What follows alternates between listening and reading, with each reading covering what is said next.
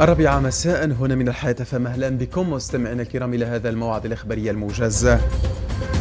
أفادت المحامية إيناس حراث اليوم الجمعة 3 من فيفري الجاري بأن المحكمة العسكرية أصدرت بطاقة إيداع بالسجن في حق سيف الدين مخلوف النائب السابق في مجلس نواب الشعب المنحل ورئيس ائتلاف الكرامة الذي مثل أمامها اليوم للاعتراض على الحكم الصادر في شأنه بالنفاذ العاجل لمدة 14 شهرا. وأضافت المحامية إيناس حراث أن سيف الدين مخلوف مثل اليوم الجمعة أمام محكمة الاستئناف العسكرية للنظر في مطلب الاعتراض على الحكم الذي صدر في شأنه أو في حقه عن نفس المحكمة وقضى بسجنه 14 شهرا مع النفاذ العاجل وفي سياق آخر تمكنت الوحدات البحرية العاملة بمناطق قرقنا المهدية صفاقس بإقليم الحرس البحري بالوسط ليلة البارحة من إحباط 11 عملية هجرة غير نظامية بالسواحل التي تعود إلى مرجع نظرها وضبطت الوحدات العائمة وفق النطق الرسمي باسم الإدارة العامة للحرس الوطني العميد حسام الدين الجبابلي 430 مهاجرا غير نظاميا من بينهم 356 من جنسيات بلدان إفريقيا جنوب الصحراء وأكدت الإدارة العامة الحرس الوطني مواصلة حماية الحدود من التسللات وأنها وضعت الرقم الأخضر 194 الخاص بقاعات العمليات البحرية على ذمة المواطنين للإعلام عن عمليات الهجرة غير النظامية ومعاضدة مجهود الدولة في التصدي للمتاجرين بقوارب الموت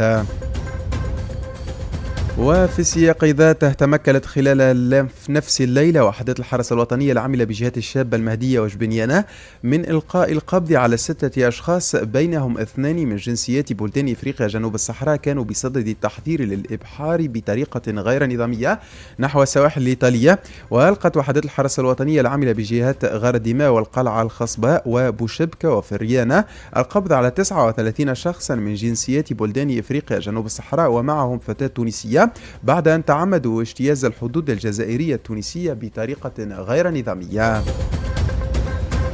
دشن رئيس الجمهورية قيس سعيد اليوم الجمعة بمحاولة أعرام من معتمدية مارث طريق السيارة رقم واحد جابس راس جدير التي تمتد على طول 176 كيلومترا. وتضمن هذا المشروع الذي بلغت كلفته 1250 ملايين دينار. تسعة أقساط من بينها أربعة أقساط تربط بين جابس ومدنين على طول 8 أو 84 كيلومتر. واشتمل هذا المشروع على مكونات عديدة من بينها ممرات علوية ومنشآت مائية كبرى وصغرى ومحاولات وفضاءات للخدمات.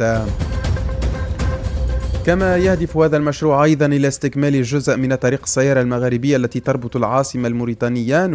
نواكشوط بالعاصمة الليبية طرابلس مرورا بالمغرب والجزائر وتونس وإلى تطوير النشاط الاقتصادي وتشجيع الاستثمار وربط العاصمة تونس بولايات الجنوب الشرقي والولايات الداخلية بالجهات الساحلية للبلاد التونسية فضلا عن تحسين ظروف الجولان وتأمين سلامة مستعملي الطريق.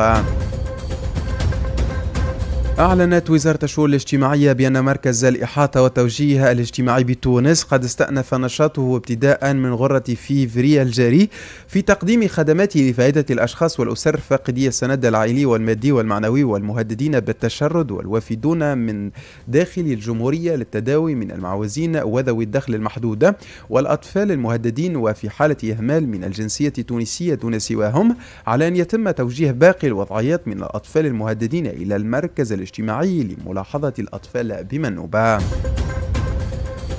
نهاية الموعد الإخباري الموجز قدمه لكم نصر الدين حميدة والمشوار يتواصل مع الشيخ محسن تميمي في الإسلام والحياة إلى اللقاء.